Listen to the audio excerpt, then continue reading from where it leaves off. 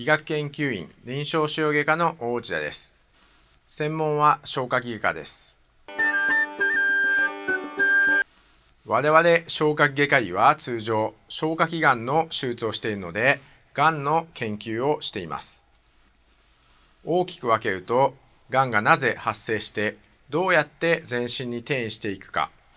なぜ抗がん剤治療が効かないのかなどを組織や細胞レベルさらには分子やゲノムレベルで解明し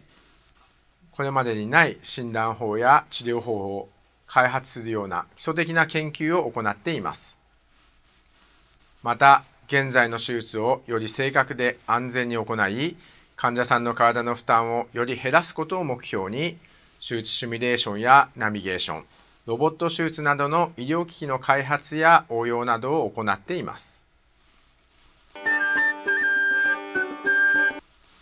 がんの研究ではがん細胞がどうやって増殖し移動していって遠くの臓器に転移するのかが解明でき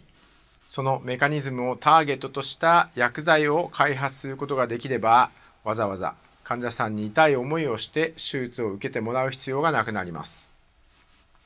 僕らは消化外科医ですが将来的には手術が必要ない世の中にするための研究を行っていることになります。この活動は医師だけでは成り立ちません。工学や理学など幅広い研究者の知見を集約して初めて実現できるもので、そういった先生方たちとの出会いも大変面白いものです。内視鏡外科手術の映像もフルハイビジョンから 4K、8K になり、3D や蛍光イメージングが加わり、臓器や組織を大きなモニターに拡大して映し、これまで肉眼では見えなかったものを見ることで、これまでにない手術を生み出すことが可能です。それに伴ってより緻密な手技が必要ですが、ロボットがそれを可能としてくれています。基礎研究でも現在では、がん細胞が実際に分裂している瞬間や抗がん剤で死んでいく瞬間、